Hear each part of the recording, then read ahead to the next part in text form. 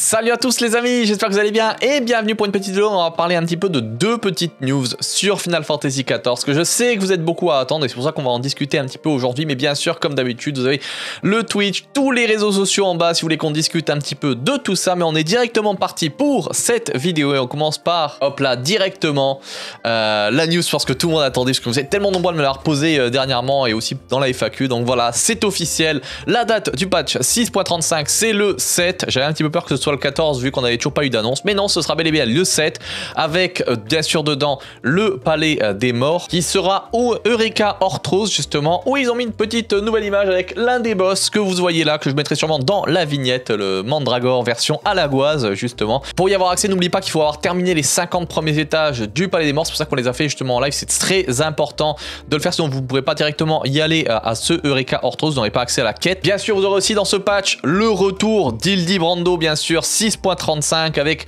la suite des épopées qui vont aller euh, sur la lune et bien sûr les armes des Manderville, les reliques on le rappelle, euh, qui Je pense 635. Vous êtes plusieurs à avoir dit 625. Je pense que ça sera quand même 635 parce que déjà 635 c'est quand même assez euh, tard dans le cycle du patch. Alors 625, je sais pas si vraiment ça intéresserait beaucoup beaucoup de gens. En tout cas, vous le savez, la relique qui est principalement un skin qui est une quête assez intéressante avec notre ami Gérold qui sera de retour et les outils des merveilles aussi pour ceux qui s'intéressent au craft directement dans le jeu et qui veulent augmenter leur relique de craft, ce sera aussi possible. Il y aura bien sûr les quêtes des tribus des Loporites avec bien sûr les boîtes de nuit. Là, il y avait la zone qui était déjà disponible. On était allé euh, voir un petit peu à quoi ça ressemblait directement à Mare Lamentora. Mais vous pouvez y aller d'ailleurs si vous voulez aller voir. C'est juste qu'elle est vide. Hein. Il n'y a pas forcément euh, beaucoup de vie comme là.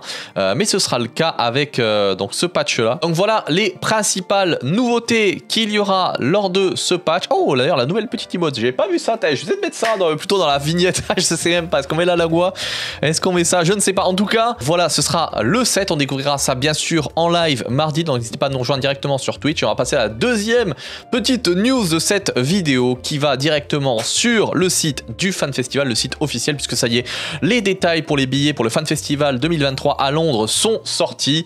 Et donc on va essayer de lire ça ensemble. Donc ils sont ravis bien sûr de retrouver les guerriers de la lumière en personne afin de passer un merveilleux moment avec eux à Londres justement en octobre. Le prix des billets c'est 160 euh, livres sterling, ce qui équivaut à 180 euros. Voilà, à peu près, si vous posiez un peu la question. Les détenteurs de billets pourront accéder à l'événement de deux jours en personne qui rendra chaque soir un concert exclusif qui ne sera pas diffusé en direct. Ça, c'est dommage qu'à l'époque, il l'ait diffusé. rose quand même. Un sac cadeau contenant des objets sur les thèmes de l'événement sera également mis euh, aux participants à leur arrivée. Euh, le déroulement de la période de participation de la vente exclusive. Donc, il y aura le système de tirage au sort. Ça rappelle un petit peu comme les maisons.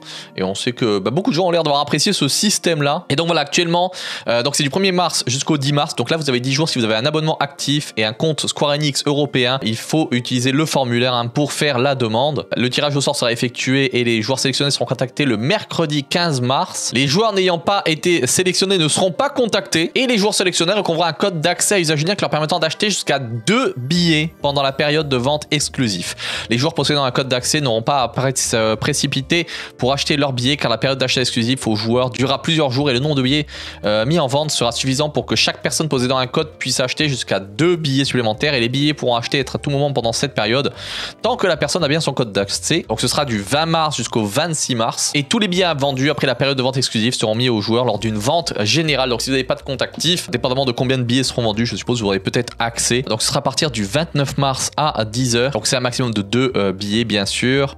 Est nécessaire d'avoir au moins 16 ans, un abonnement européen actif et légalement acquis FF14 pour acheter des billets. Les joueurs définitivement bannis de FF14 ne peuvent pas acheter de billets pour participer à l'événement. C'est bizarre ça moi, moi qui croyais que...